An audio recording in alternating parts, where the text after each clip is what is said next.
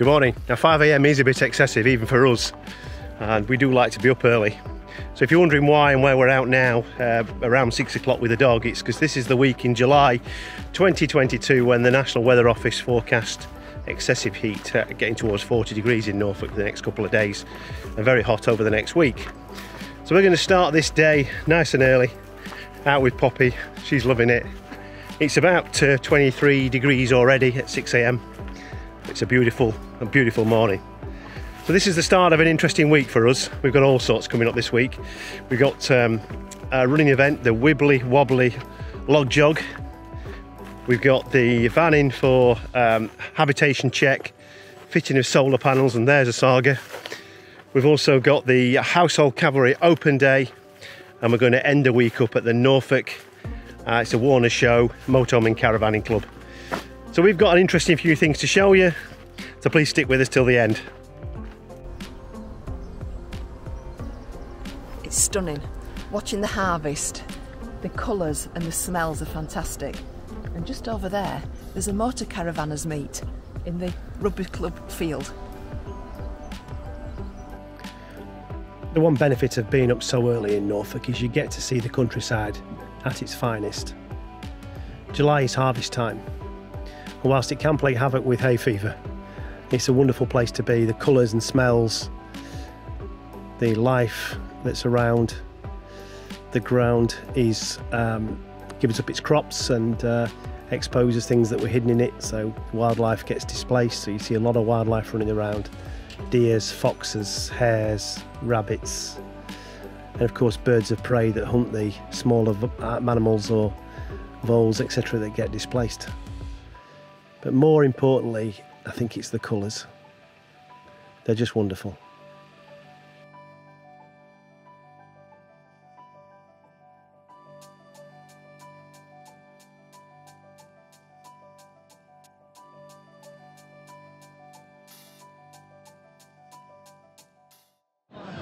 So this is the Wibbly Wobbly Log Jog in Thetford Forest and the briefing's okay, about to start. Good evening, everybody. Thank you very much for entering the Wibbly Wobbly Log Jog this year. It's great to see you all back here.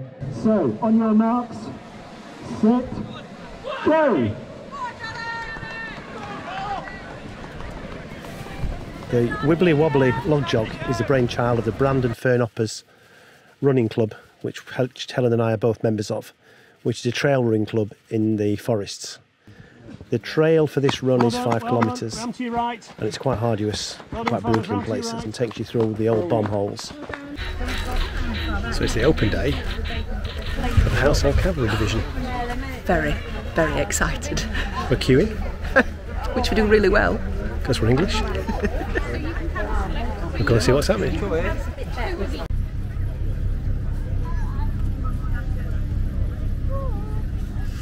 So we're inside on a very hot, sunshiny, busy day. Fresh troops getting briefed.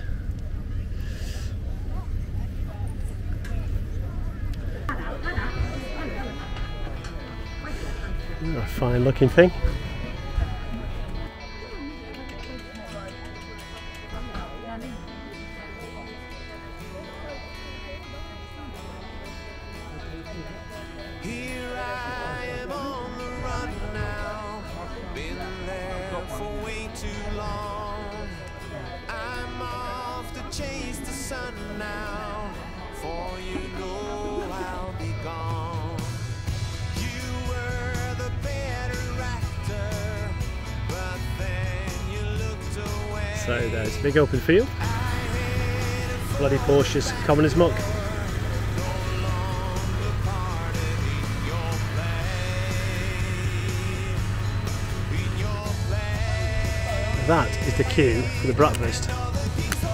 Must be good breakfast.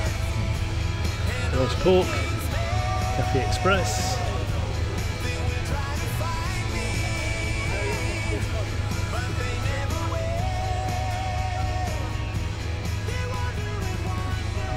It's a good day.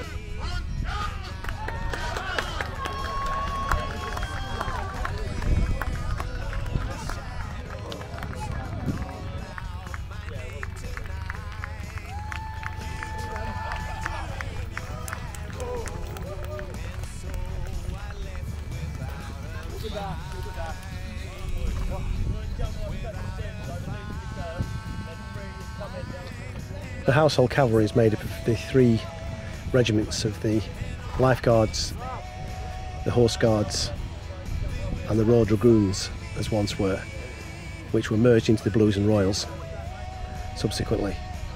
So now the Life Guards and the Blues and Royals are the two main facets of the Household Cavalry, joined in the 1990s, and are distinctive by the red coats of the Life Guards and the blue coats of the Blues and Royals.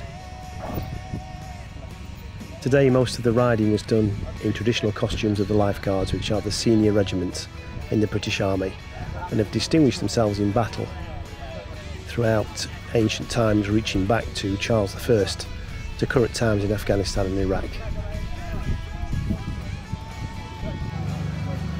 So, what you got there, H?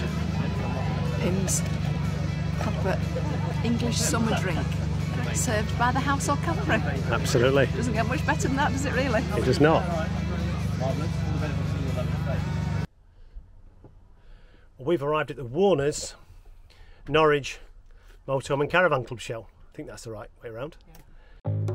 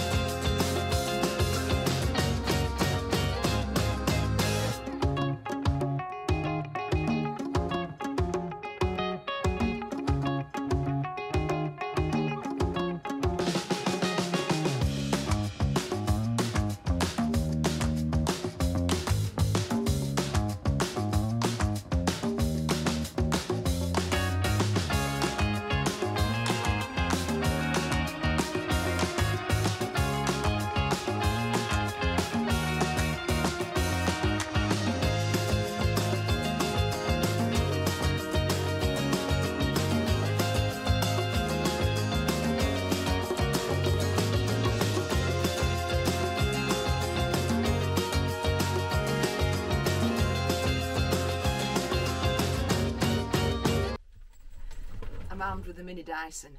The question is, Ant, what you've got to ask yourself is, do you feel lucky? Come on, punk, make my day. So we've walked this morning to a bit of a crisis. A floor full of ants. So I've been outside and sure enough there's an ant colony crawling up the electric cable through the floor into the van.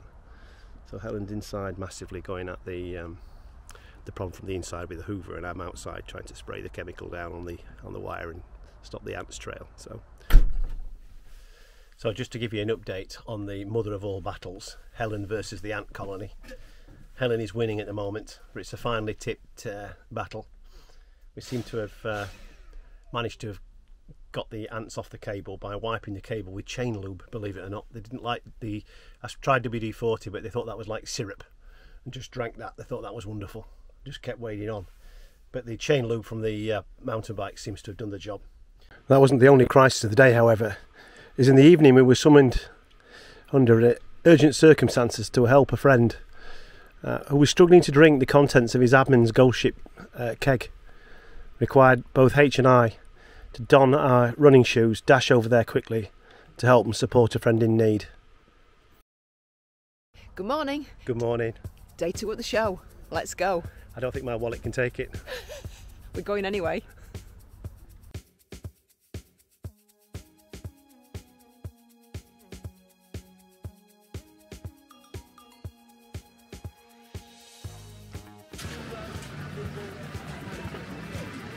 This is the IH motorhome stand. Suppliers of the Trevor and Sue mobile. Good quality gear this. That's a fact. You'll struggle to find anything pound for pound built to the quality of these vans. They really are up there.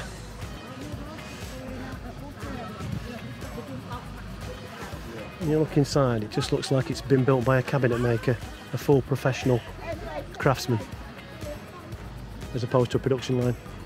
This has been sold today. That's the one I looked round to Sold already? Sold already. Yeah. Yeah. yeah. I'm pleased to say that we're not ready to buy yet, but we certainly would give these a consideration next time. That will be a few years. Yes, we like the nouse. And we've got plenty more journeys together yet. Well, that was a hot week. It was a hot week. It was a hot and busy week. They weren't, they weren't wrong when they said it was going to be the hottest week on record, were they? No, no. 38.5 degrees it registered Yes. at one point uh, Yeah. in Norfolk this week. Yeah. Well, that was certainly something. Mm. We've had a level week though, haven't we? We've had a great week. We've managed to, given the temperatures, we've managed to cram quite a lot in, really. Yeah, we have. We got the uh, the charity run, the Wibbly Wobbly Lodge jog. Jog, yeah. Just- I can never say that right. uh, if you didn't pick that up, that's part of our running club, which is the Brandon Fern, Fern Hoppers, Hoppers, Running yeah. Club, and it's uh, a club that runs off-road trail running in the forests. Mm-hmm. Uh, big shout out to uh, Suzanne from Meandering Mancs, who's doing the Couch to 5K, Yes. and uh, Well done, Suzanne. well done, Suzanne. We really like them guys, Yeah. and uh, Yeah. they're, they're sort of uh, embarking on a new chapter a, in life. it's a great effort, that. seem to be growing all the time. So if you check out their channel if uh, if you haven't seen them, and uh, also from there to the Household Cavalry. Yes, that was a great day. Yeah, it was. Um, they're just close to us. They packed up and went within 24 hours. If you Yeah. saw that clip of video, if you can imagine what it must have taken to have completely cleared that field within 24 hours, that was something else. Yeah. Pleased to say that the uh, van passed its hab check. The um, solar panels are now installed And a new battery. and a new battery. Hmm. So we're all ready to go, really, and uh, everything's cooking on gas. Engine service next month, but Hmm. we're all looking good. And now, of course, the last thing was the show, yes. Which, um, in summary, was just delightful, really. It was really nice to be back at a show. We've not been to one for two, three years, something like that, and it's been great to be back. It's a smaller, intimate show, but we've met some fantastic people and we've bought some really nice things. Well, I think given how much you've bought, it might be four or five years before I agree to come back to another one. I need to save up. Go on, tell them what we've bought. Yeah, we bought some bits and bobs, really, haven't we? We bought Yeah. some new windbreaks and some new carpet for outside, a new um, Transcool machine. trans cool machine, try and keep the dog uh, a bit cooler. Yeah. We've been using fans, of course, but Yeah. Uh, but we thought it was a good idea. And you've been buying some uh, Yes, nice bits and a new, something, uh, a nice apron from the Happy Caravanner and some bunting as well, which um, it's really good quality and very well made, and it's quite quirky, which I quite like. So She's a really nice person as well. yeah, she was great. Yeah, yeah, yeah. We'll yeah. put the links below for that as well.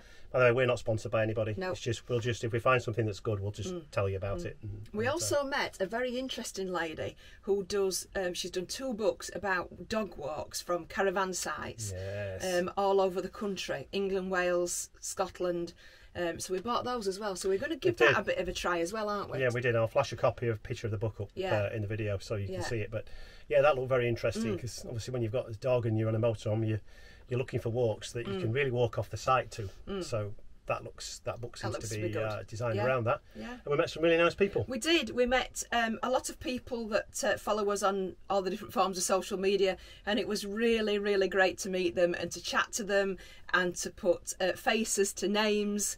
Um, and I'm really sorry if we saw you and we were talking to somebody else and we never got chance to chat to you. We're really sorry about that, um, and hopefully we'll be able to catch up with you at some other point. Most people were wondering whether it was okay to say hello, but we Oh, actually do. really We love it. really like to, Yeah. to meet new people. So Yeah. please don't Yeah. don't let that, that stop you. Uh, No. we, we, we're grateful for it, and we're uh, we're humbled that people want to talk to us. Actually, aren't we? And everybody knew Poppy's name. Everybody knew Poppy. yeah. But Funnily enough, everybody thought Poppy would be bigger. yeah, they did. Yeah, no, she's quite a small thing, really. she's a Uh, small little cockapoo. Just uh, cockapoo's are really size-wise defined on whether the, the poodle element is a tiny miniature or obviously the standard's a giant Mm. One, but it's the really the, the miniature or the toy poodle that makes a difference. So Yeah. yeah. that's good. So we're going on now. We're, we're going to a little on. site now that we've been looking forward to going to Mm. for a while. Uh, first picked it up on Instagram. I haven't stayed there before, No. but that's more to come in the next video. Yeah. So Martin out. Helen out.